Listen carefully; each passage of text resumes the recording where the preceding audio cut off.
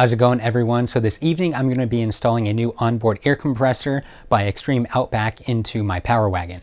Now if you follow my channel you know that a couple years ago I installed an Air Zenith OB2 compressor in the fender of the truck to help with airing tires up uh, as well as handling inner tubes and floaties down at the lake. However, after I installed the Air Zenith OB2 compressor, I noticed a major flaw with the compressor itself, its actual output.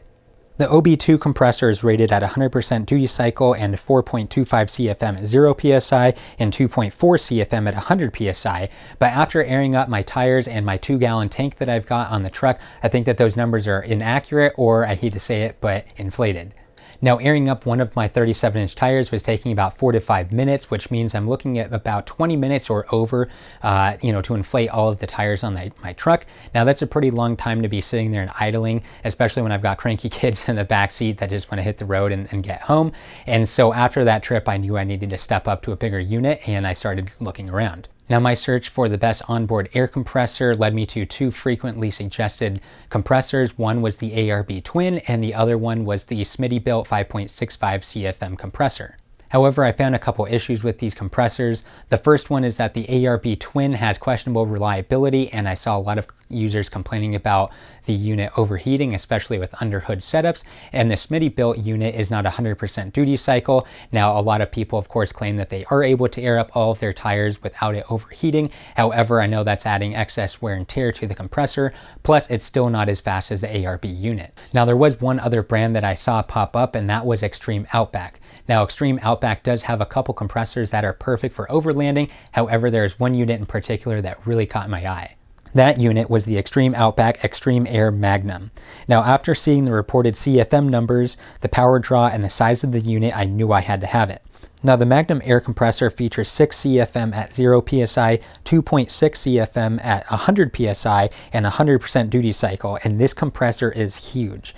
Although having a mini compressor would make mounting easy, if you want the best performance and the fastest fill rate from your air compressor, there's no way around the size and power draw required to do so. Now I will be finishing up this install video with a comparison between the OB2 compressor and the Extreme Outback compressor. Now one thing I do want to point out here is that the Air Zenith OB2 compressor is a 3 quarter horsepower rated motor, while the Extreme Outback Magnum motor is 1.5 horsepower. Now, motor size is actually a big part of the reason that I think the Air Zenith specs are wrong. Um, the Magnum motor here is twice as big as the Air Zenith, and yet they both have similar output numbers. Now, in order to hit a certain CFM, you have to have a certain size motor, and I just don't think that the Air Zenith is actually putting out the numbers that it claims. Now, one other thing that could be brought up is that the Air Zenith compressor is starting to wear out. However, I don't actually think that's true because one, I don't have that many hours on the unit, and two, I still feel like it fills up my little uh, tank in the back of the truck at about the same rate. Of course, I haven't timed it, uh, but I don't feel like it takes all that long. Now to get started with installation, you're going to need the following items. The first is the Extreme Air Magnum compressor or one of the other similar units that Extreme Outback offers.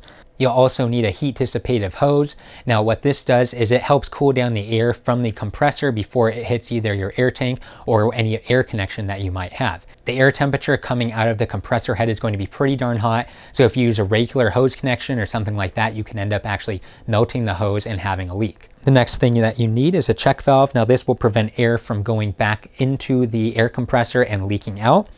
A circuit breaker, relay, a pressure switch. Now this can be adjustable. Typically it's between like 90 and 150 PSI. The switch that I have in my truck is 145 PSI, so it's gonna work perfect for this system. Now the Extreme Air Magnum compressor has a 150 PSI maximum output, and so you need to make sure that your switch is 150 PSI or less. You're also going to need a toggle switch, uh, which could be S-Pod or a little simple flip switch, whatever, but this is just going to be a simple on-off for your compressor. You're also going to need a 10 amp inline fuse, wiring for the compressor, which is typically 4, 6, or 8 gauge, as well as nuts, bolts, and air lines. Now the last thing that you're going to need, and it is optional, is a blow-off valve. Now, I didn't realize that they made blow-off valves for air compressors, but after reading about it, it makes a lot of sense, and I did pick one up. Now, after your compressor shuts off, you have built up pressure inside the cylinder head, and so the next time that you turn your compressor back on, the motor needs to overcome that pressure in order to start putting more air into your system. However, having that excess pressure in the cylinder head makes it very difficult for the motor to turn over, and although it can do it, it is very taxing on your electrical system. What the blow-off valve does is it vents that excess pressure, so now when the compressor turns back on, it doesn't need to overcome that existing pressure inside the cylinder head. Now the blow-off valve will help reduce wear and tear on your unit, as well as help reduce some of the electrical current required in order to turn your compressor back on. Now, in my opinion, the benefits of the blow-off valve for your air compressor far outweigh the small cost of the actual little blow-off valve itself. And so if you're installing a new system, I highly recommend you put that in. Now, Extreme Outback does offer every single part that I did list off here. And so if you have any questions about the setup or you want to customize something, give them a call or send them an email and they'll be happy to help out. Since I already have an air compressor installed in my system and I was using high quality parts before, I'll be able to use some of my existing components with my new compressor. So now that I've thrown a bunch of information at you, I want to go over basic installation here. Now, Extreme Outback does have this nice little diagram here that explains how everything should be hooked up. And of course, depending on your application, you might have to move things in different locations or you'll be using different switches. But overall, this is really what you're going to be looking at for installation. Now, starting off, this compressor does use a massive amount of power, so you need to be hooked up directly to your battery. Now, if you are running a dual battery system, you're going to want to make sure that this is hooked up to your starter battery, and you don't want to have really long cables if you can avoid it. So starting off with the compressor, you're going to have the ground wire hooked up directly to the battery. Next up is going to be your positive cable, which hooks up to your relay. And in between your starter battery and your relay is going to be positive cables, and the circuit breaker will basically act as a big fuse for you in case there is some sort of problem. Now the next portion of this is going to be your ignition switch. Now this doesn't have to be an ignition switch. It could be um, you know, something that always has power. However, it's a good idea to have it on some sort of accessory that turns on when the vehicle is on and running. So that way you're not running your compressor when you're not running your truck because it's really important that you're running your truck and your engine when you're running this compressor. Now, in between your power source and your toggle switch is going to be a little 10 amp fuse, and then that toggle switch is going to hook up to the pressure switch, which is then hooked up to the relay. Now, when you turn your truck on and everything is running, you can flip your toggle switch to the on position and that will send power to the pressure switch. Now, if the pressure switch sees that there is less than, in my case, 110 psi, then it will continue sending power over to the relay. The relay will then energize and turn on, which will hook up the power from the battery to your compressor, and the compressor will turn on and run. Now one thing that is not shown here in the diagram is the blow-off valve, which is going to be screwed in directly to the compressor head itself, and it also hooks onto the relay. Now the reason you want to do this is so that way when your compressor turns on, your blow-off valve will be energized and it will close basically so it will not leak, and then when power is cut off to the compressor, the blow-off valve will open and vent that excess pressure in the cylinder head. Now this won't be a direct how-to for installation, but I am going to go over the major parts and when I show some of the wiring and everything, you'll see where I have each of these parts installed. The compressor is now installed here and it seems pretty solid, so I shouldn't have any problems with that moving. Uh, the next thing I'm going to be doing is installing the high amperage relay right here. Now I'll probably have it somewhere on my board and obviously I will have that mounted down and then that will be hooked up to my circuit breaker right here. All right, and I think electrically I have everything hooked up that I need to. The last thing really is just hooking up my air line into my control unit here. So basically I have my little switch here. When I flip that on, then power will go over to our pressure switch, and that's the cutoff basically. So if it sees that the air tank is 140 psi or less, then it will tell the compressor to turn on. So then the wire signal will go from the pressure switch over here. I've got it hidden under here. And then my wire for this triggers the relay here to turn on, and then that tells the compressor to turn on. Of course, once we get up to the required pressure, then the signal at the pressure switch will shut off, which will then tell the relay to turn off, and then the compressor will stop. So to finish up this install, I need to hook up my air hose, and so I'm going to snake that probably behind it, maybe? I don't know. Um, I'll try a couple different things, but the air hose should be the last thing I need. All right, so I got my heat dissipative hose hooked up and it kind of snakes back along the firewall and hooks up over here. Now I would like to eventually have everything just kind of be uh, hard line, but right now I do have it going to uh, 3 8 inch air hose uh, on the very end here, as you can see. Now I haven't hooked that up, of course, into my system. I'm gonna test to make sure that it works first before plugging it in, um, but it is pretty late right now, so I'm gonna have to test that in the morning, but at least we are ready to go. All right, so our Extreme Outback Extreme Air Magnum air compressor is now installed. I'm gonna do a real simple test here, and that is basically filling up my little air tank from zero to 150 PSI, which is what my cutoff switch is. Now I'll be comparing, of course, the OB2 compressor, which is inside the fender, as well as the Extreme Air Magnum. Now later on, I will be doing a comparison between filling up one tire and all four uh, for the Air Zenith as well as the new Outback Extreme air compressor. However, for this time, I want to keep it real simple and just do a, uh, a small air tank test. So we have our Extreme Air Magnum compressor installed on top of the engine, of course, and then I have my OB2 compressor installed behind the fender here, so I can't show you that. And I've got my air down valve open here, so we now know that there's zero pressure inside of the tank. Now, normally the way I have it set up, I have a switch here and I also have a switch over here. So what that would do basically is this switch turns on that compressor, the extreme air, and then if for some reason I want to run the other one, I have the switch here.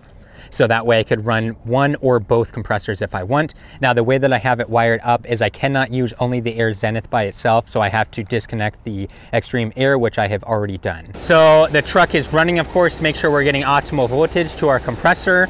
Um, I'll go ahead and flip this switch on, and as soon as I flip this switch, then our OB2 compressor will turn on and we'll start our timer.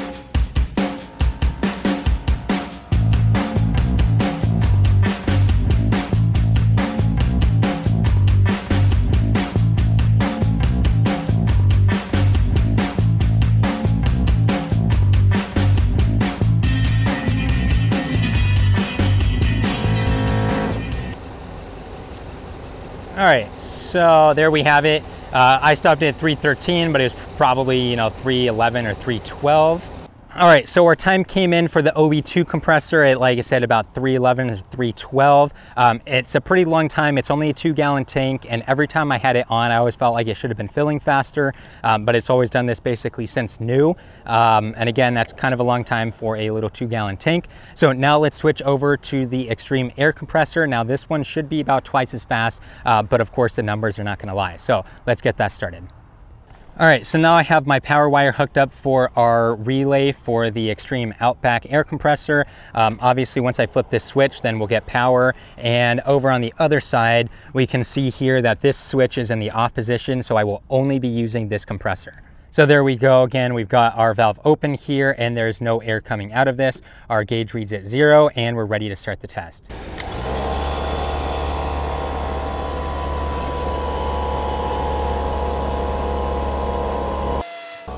And one other thing about the Extreme Outback air compressor is the sound from it is a lot different than the OB2. Uh, the OB2 always feels like it's kind of at like the verge of breaking or being destroyed. Um, but the Extreme Outback compressor sounds, like you said, just sounds different and doesn't sound nearly as stressed.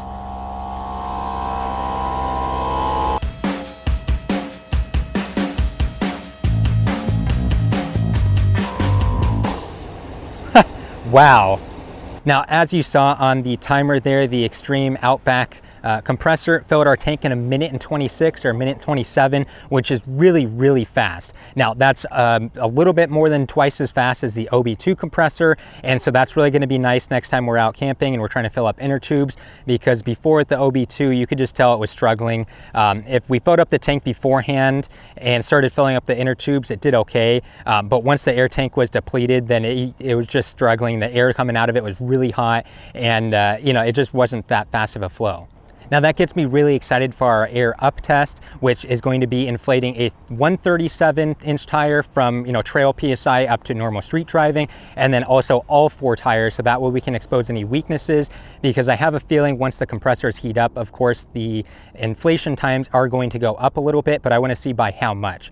And of course, if you have any questions about the installation itself or the compressor, go ahead and put those down in the comments below. Or if you need to reach out to Outback, I'll have their email and their website listed below too. Now make sure you subscribe to the channel as well. We're gonna have a couple more comparisons with this compressor coming out as well as a long-term review and we'll see you in the next video.